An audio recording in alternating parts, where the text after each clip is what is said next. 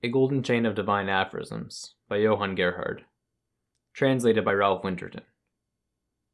Chapter 7 Wherein are contained theological aphorisms concerning election and reprobation.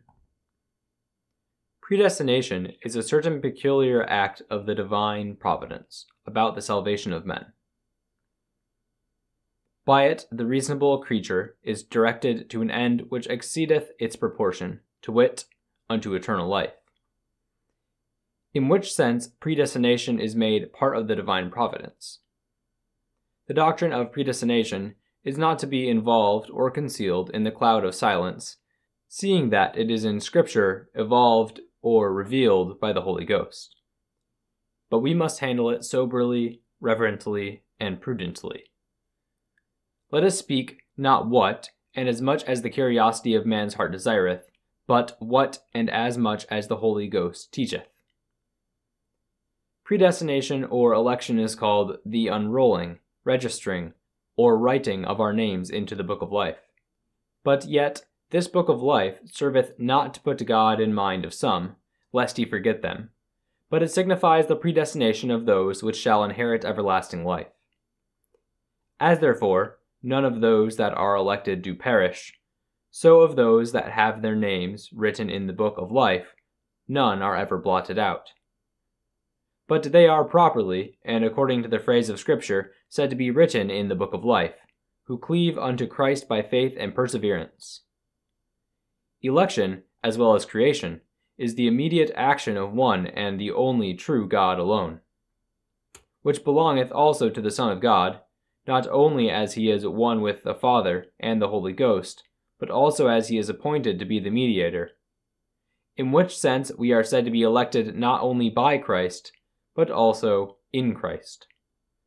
And it is an action not eminent but immanent. And it is also ordinate, whence it is that the elect are said to be ordained to eternal life. The reason and manner of this order is made manifest unto us by the gospel by which the mystery of our salvation, which was kept secret since the world began, is now made manifest. In which sense we are said to be elected according to the purpose and foreknowledge of God. That purpose is the counsel and good pleasure of God concerning the salvation of men by faith on Christ. God's election is merely of His grace, not according to any merits of works foreseen. The only cause and foundation of this grace is Christ, in him, the beloved, we are freely beloved. But inasmuch as Christ profits no man without faith, therefore the mention of Christ in this business doth include the action of faith, in which sense we are said to be elected not only in Christ, but also through faith. Again, because the end of faith, I do not mean such faith as is temporary, and endureth but for a time, but that which persevereth and continueth unto the end, is eternal life Therefore, when we name faith, we understand perseverance also. The end of election in respect of ourselves is sanctification in the kingdom of grace, and glorification in the kingdom of glory. The end of our election in respect of God is the glory of God, and the clear manifestation of his mercy. God willeth and earnestly willeth the life of a sinner, but he willeth also his conversion by the word and the Holy Spirit. If the sinner refuseth and rejecteth the word, and resisteth the Holy Spirit, and so is not converted, then God willeth the death of a sinner, and that most justly. These things are not repugnant, the one to the other, but do manifest unto us the wonderful temper of God's mercy and justice. What some produce concerning the hidden will of God, contrary to his will revealed in his word, that inasmuch as is not revealed, is not without just cause hidden from the godly. Neither doth God in word only testify unto us that he earnestly desireth the salvation of all men, but also in deed and in truth. The first Adam was created after the image of God, whereof immortality was a part. All men were in the loins of their first father Adam. Therefore, in him, they may be all said to have been created after the image of God unto immortality what Christ by his precious blood shedding purchased for us all, that the Holy Ghost in the precious treasure of the Word offereth unto all. The gospel is offered unto all, and in the gospel the benefits of Christ, and in them the grace of God, and in that eternal life.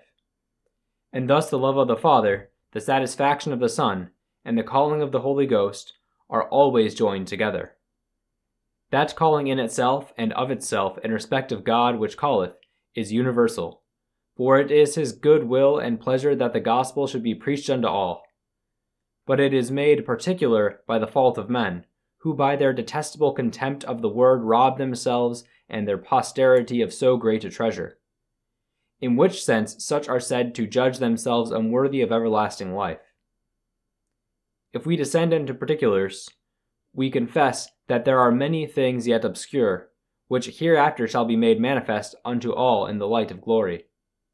Neither is the grace of God which calleth all to be depressed, nor the power of free will accepting grace to be extolled. Let the salvation of men be acknowledged to be the mere gift of God's grace, but let the damnation of men be attributed merely to their own fault. The judgments of God we must always acknowledge to be just, although they are not always manifest unto us. God's grace preventeth and prepareth us before we can be able. It worketh in us that we may be able, and it worketh with us, whensoever by his gift we are enabled to do anything that is good. As God in time doth justify men and save them, so also from all eternity he decreed to justify them and save them. The action of God in time is, as it were, a glass, wherein we may behold his decree concerning that action made from all eternity. The reason whereof is the immutability of his divine will.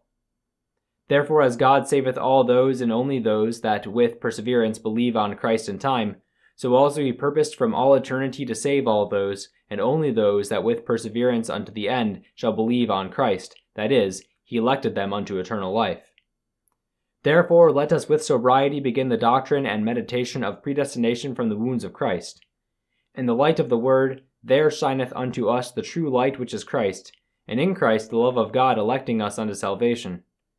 Without the path and light of the Word, whatsoever we can think or imagine in our hearts, whatsoever we can speak or utter with our lips, is but darkness and error. But on the other side, if we follow the light of the Word, we shall neither decline to the right hand of presumptuous temerity, nor to the left hand of carnal security.